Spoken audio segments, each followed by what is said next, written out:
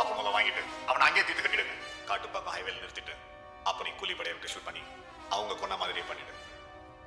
யாரு? யாரா அது? பாஸ். மொட்டை பாஸ். இங்க எதுக்கு வந்த? திருப்பி கொடுக்க. புரியல? சிவாஜிய கொன்னது நீதான். இந்த எம்எம்எஸ் வச்ச உனக்கு மரண தண்டனை வாங்கி கொடுக்க முடியும். ஏய் நீ மொட்டை அடிச்சு எம்ஜிஆர்னு சொல்லி ஊரை ஏமாத்தலாம். என்ன ஏமாத்த முடியாது. நீ தான் சிவாஜின்னு எனக்கு நல்லா தெரியும்.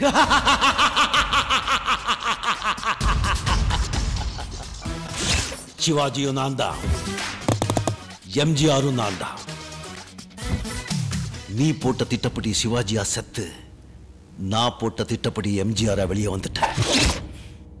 நீ மாட்டிக்கிட்ட. சும்மா அதறது இல்ல உனக்கு என்ன வேணும்? என்ன தருவ?